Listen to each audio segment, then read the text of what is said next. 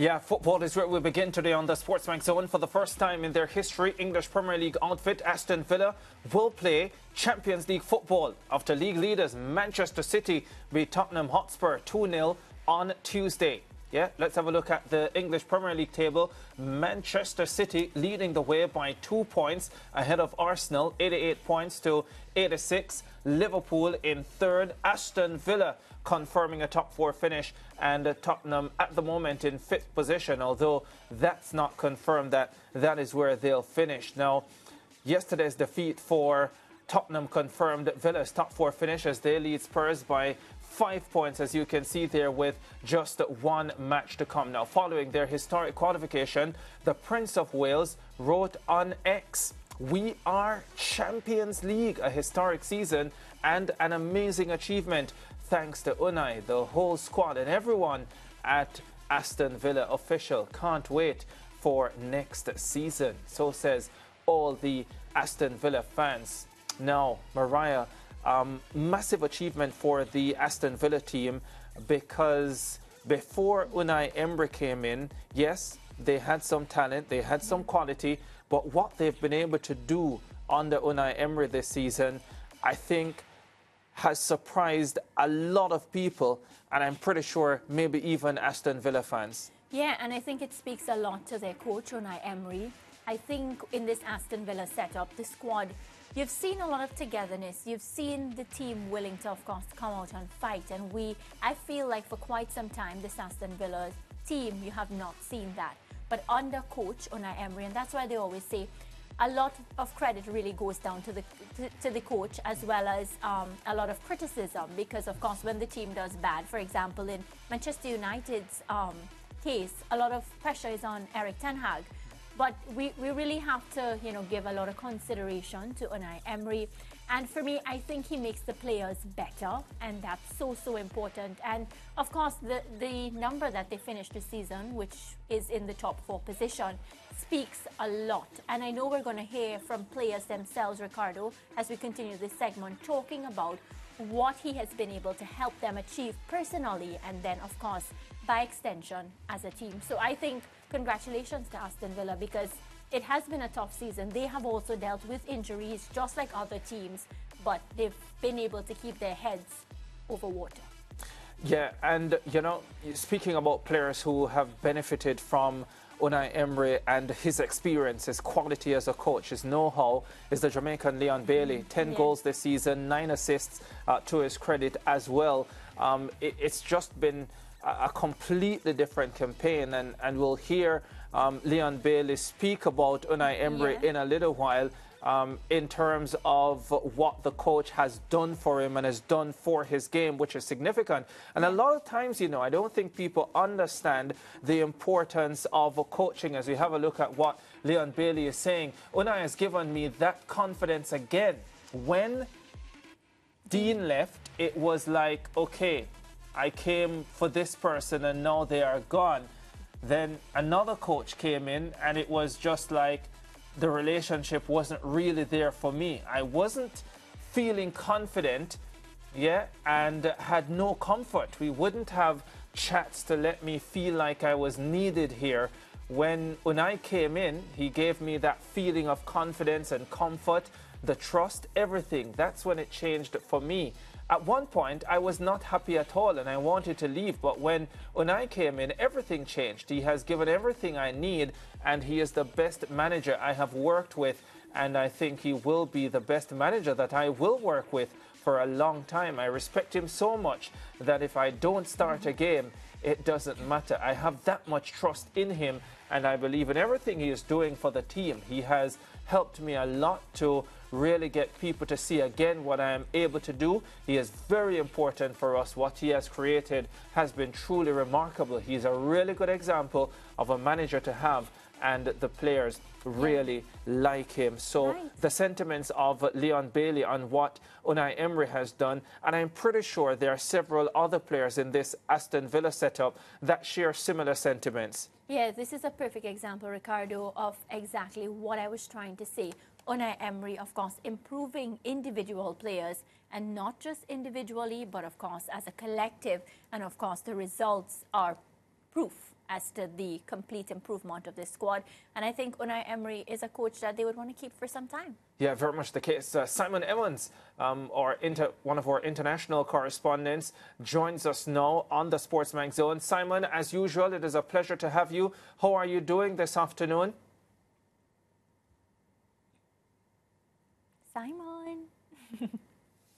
mm. Right, thank you. Yeah.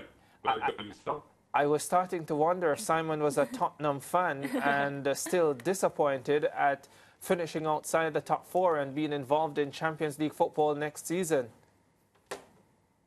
No, no, no, not at all. But it, it was, uh, you know, it's, it's, a very strange uh, the, the way that people at Tottenham have reacted to that situation. I think I can understand why they they didn't want fans didn't want Arsenal to win, but um, it does seem to have sort of taken over, taken on life on that whole silliness, hasn't it? Really, with the response of uh, Postecoglou afterwards saying the foundations are, are weak at the club and so on. It's it's, uh, it's an unfortunate situation for Tottenham, really.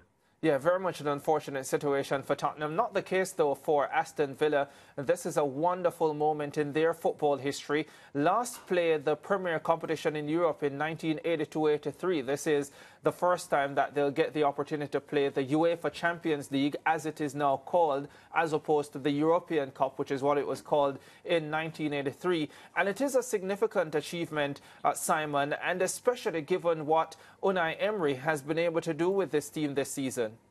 Yeah, it's not so long ago. Back to when uh, Steven Gerrard was uh, at, at, the team, uh, in charge of the team, and uh, they were struggling. They were they were they were down at the bottom end of the table.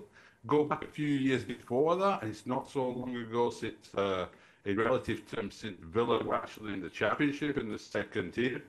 So you know, it's it, has been a long time since they've been in that European League competition, as you say, going back to the 80s when they actually won the old European Cup. Um, so but really, within the space of a couple of years, what Emery has been able to do is uh, is quite extraordinary, really. And I am a little bit surprised. I'm glad in a way, but I'm a little bit surprised that he isn't being linked or talked about with some of the, the jobs that might be coming up this uh, summer. You know, the, the what he's done there, what he's done before in Spain, uh, in his, his couple of really good spells there with uh, Villarreal Sevilla. He, he's, he's uh, you know, I think he was his reputation was maybe damaged a little bit by his spell at Arsenal. But apart from that, take that out of the picture, uh, his record as a coach is incredible. Yeah, and just one more because we were talking about Leon Bailey earlier, and Leon has spoken about um, how Unai Emery has helped his game this campaign. But another player who I think has been excellent for Aston Villa, um, Ollie Watkins, 19 goals, 13 assists and he just can't stop producing for this Villa team. He's had an excellent season as well, Simon. He has. His season might not be over. He's he's got a good chance of making Gareth Southgate's uh, spot for the Euros. I think for the, the summer. I think if, if uh, Southgate has to pick one striker as backup to his central striker to Harry Kane, then I think Watkins is in a really strong position to to take that spot. Um, and he's such a smooth player, isn't he? You know, he, he, he gets into the little channels uh, and he moves, but he's he's he's not a fussy or uncomplicated player. He just does everything in a very smooth way. But again, Emery showing his quality as a manager has been able to really bring the best out of him. Yeah, and you know, we spoke about Leon Bailey before you joined us at length. Ricardo asked you, uh, you know, he mentioned his name as well. But Simon, as a Jamaican player and of course a Caribbean player by extension, because you know once one of our um, Caribbean teams are playing, everybody, of course, supports. How do you feel Leon Bailey went about his entire season once he got under the leadership of Unai Emery?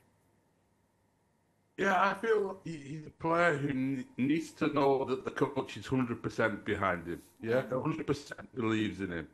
And I think he's picked that up. I think before that, maybe he was always a little bit in the back of his mind. He was in the team one week, he was substitute the next week, so on. I think even if you know, been, been games when Emery hasn't started him, um, I think I have that belief there that this this is somebody who really trusts him and wants to bring the bring the best out of him. And uh, I think we've started to see a level of consistency from Leon Bailey that, that, that was what was missing from his game, really. Right, and now that Aston Villa has, of course, secured that Champions League spot, we know Champions League is not um, one of those competitions that you can get by easily. It's top class competition, you know, full of quality. Do you think this Aston Villa team has what it takes to really put up a competitive fight? Or do you see Unai Emery and, of course, the owners of the club having to do a lot of transfer business? I don't think they do need to do a lot of transfer business. No, and I think they, will they will add, I'm sure, make some additions. But if you look at what, Emery did with the the clubs he worked with in Spain, particularly at Villarreal most recently, um, he went into those competitions in Europe. Okay, it was the Europa League mostly, but he went into those competitions with a team that, on paper, people looked at and said they shouldn't be challenging, and they did. They went and had deep runs in those competitions, and and he must have to navigate and negotiate. I would say that that is his natural environment more than the Premier League. There was maybe a question over uh, Emery's ability in the Premier League, but his ability in European competition is, is undoubted. And I don't think they do need to go making big, big changes now. Just build on what they've got. They've got a good thing going at Aston Villa. And I think just bringing in one or two players, strengthening a few options behind that, uh, rather than any sort of wholesale, oh, we're in Europe now, we have to strengthen everywhere, and, and you can throw out the baby with the bathwater if you're not careful doing that. Yeah. And well, we're still at the top end of the EPL table, Simon, and Manchester City are on course for a record breaking four EPL titles in a row as they hold a two point advantage over Arsenal with only one round of matches to come. So, Simon, are Manchester City favourites for a fourth EPL title in a row? Well, judging the way they celebrated uh, after that win at Tottenham Hotspur, I think they think they're favourites for sure, um, and I think they are. You know, um, but I do think uh, people need to just show a little bit more respect to West Ham United. You know, I mean, it's it's yes, absolutely. Manchester City are, are favourites; they should win that game, but it's not all over. They're not a relegated team or something. Uh, so City going to have to work out, you know, and, and Dave Moyes uh, is probably on his way out of West Ham United, but he's, he's a canny manager, and, and you should show respect. And I hope Guardiola uh, transmits, I'm sure he will, to his players uh, before Sunday. But yeah, you would you would expect uh, City to take care of business. And uh, Arsenal's game is against Everton, isn't it? Um, that's no easy game either. But uh, you would also expect Arsenal to to, to come out on top in that one as well. So if, if both teams win their final game, then Manchester City have that uh, fourth Premier League title in a row. Yeah, Simon, do you remember that 2011-2012 season when it was between Manchester United and Manchester City and Manchester United felt as if it was done and dusted and then the man who got the name Kun Aguero, of course, sealed the City's first title I do remember that against Queen's Park Rangers on the final day of the season. Yeah, yeah. Yeah, so th- uh, this kind of give me gives me that type of vibe. So you know, even as a Manchester City fan, and I'm very confident, I feel like I don't want to start celebrating like Manchester United did, and then end up being really sad about it after. So I think Manchester Manchester City and Pep would want to go about their business a bit different. Yeah, I think that's a reaction after the Tottenham game. but I just thought oh, they're, they're really celebrating this win, and there's one game to go, and you could.